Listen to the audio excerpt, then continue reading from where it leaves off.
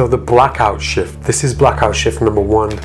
A few people have seen this already. I gave this away for free in Revelations. Uh, Revelations got taken down, so this move kind of got lost with with the rest of the um, Revelation tapes. Um, it's a very illogical thing to do to to a very questionable thing to do to spin a deck around like this. Um, when I'm doing this, I make it look like I'm in inspecting the edges for some bizarre reason, and I, it, it, allows me to twist the deck and people to, to get used to me twisting. So it just looks like I'm doing this, and then amidst that twisting, I execute the move, and then I can twist again, go back into position, the move happens again um, and what's happening is a simple scissor cut. If you don't know what a scissor cut looks like, it's this. Now, I'm stopping the scissor cut halfway. So I'm not actually doing a scissor cut. The basic scissor cut, you grip from the outer edges like this in upper mechanics. And the thumb is here. So the thumb comes to the back and it grips the bottom half of the deck and it pivots away on finger one, it pivots it away, it clears, and then closes. So the grip's here, thumb goes on top, pivot away, clear, come back. So if you look without this hand here, there's a scissor cut and it comes back down. So that's stage one, learning the scissor cut and learning how to do it with time. So the first stage is the scissor cut, and the rotation of that eight needs to happen when the hand when the fingers are on top or the, the rotation of the bone card whatever that is. So the hand's on top. So as the hands turn into the top the thumb moves to the back. And now when it goes down the scissor cut is executed and this happens. So the rotation of the of the the second packet matches the rotation of the hand or thereabouts. It actually doubles it up but it's unseen because it's going in the same direction. Like this so all I'm doing, once I've got to this point, I cover the bomb packet. Watch what happens when I cover the bomb packet. This is the bomb packet. It looks like a, change. It looks like a change has happened. but all I'm doing is covering that packet. So here, I'm now going to cover the 3, and you see the 7. So I'll cover the 7, and you see another 7, a different 7. I cover this 7, and you see the ten of diamonds. So I don't actually execute or complete the execution of a scissor cut. I stop it halfway and then close the deck carefully, like this. So I do this a few times, pretend that I'm inspecting the ends.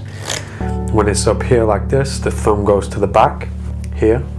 I now execute a, um, I start to execute a scissor cut on the way back round. This hand stays in the way of the 10 already and the 2 circles round. This hand is completely covering up the 10 and look what position this hand's in.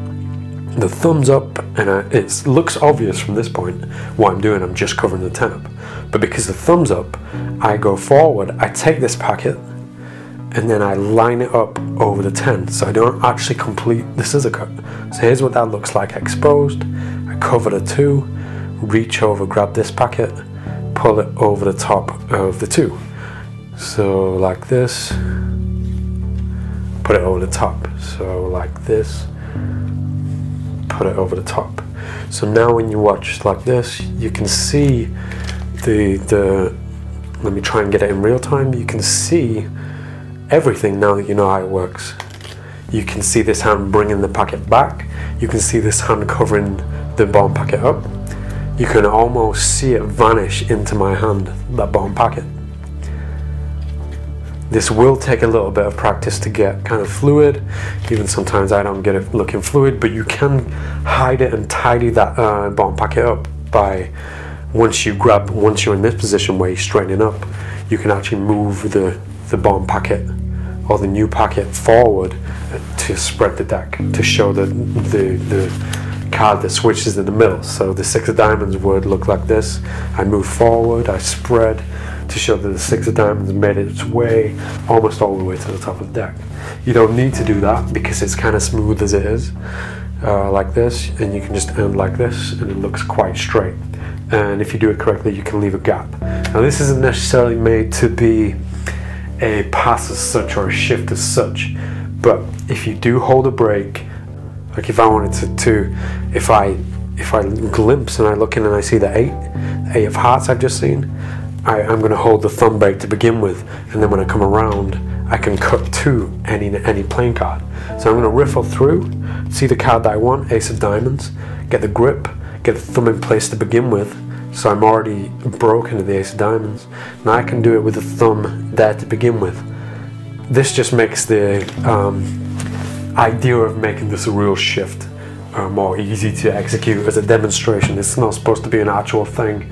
Uh, the actual thing, the actual principle, an idea of this comes from a real uh, gambling shift, a real table shift that you'll see the demonstration of, which is, I call it simply blackout shift number two. And it's the same thing based on a table. And the idea is you, you've just done some uh, shuffling on the table and you see this action sometimes where they straighten the deck up. You straighten up the cards and you hide the, the shift in doing that, doing it very messily.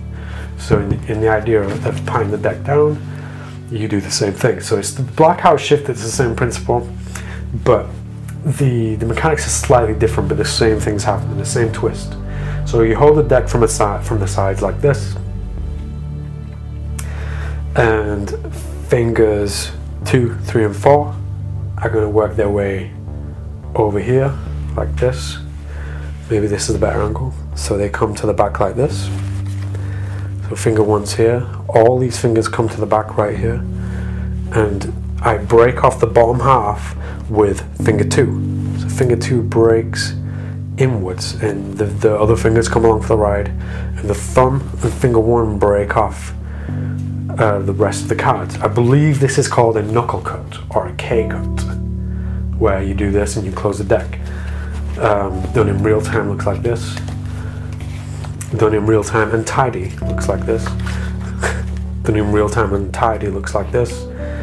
So I'm taking advantage of the knuckle cut of the K cut. I believe that's what it's called I may be wrong. So I'm doing the knuckle cut on the table like this. Now it gets messy because there's no support because it's on the table that's why this hand comes in and helps it now I disguise this hand coming in to help it by patting the cards down so I offer a little bit of a jump in the deck so the deck jumps a little bit when I do it. So we go up, twist, down.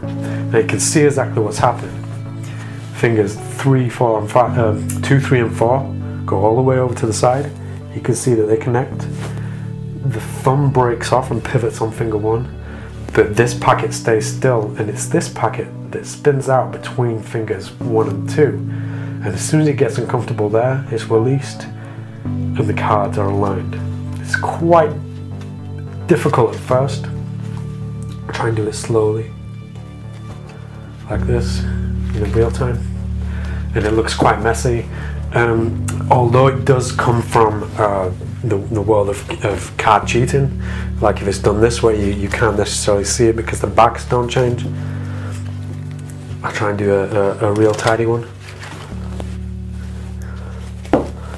You can't see something's going on, but although it comes from, from card table deception. Um, I, I, only have used this for demonstration to, sh to, show what kind of things can happen and could happen at, at card games.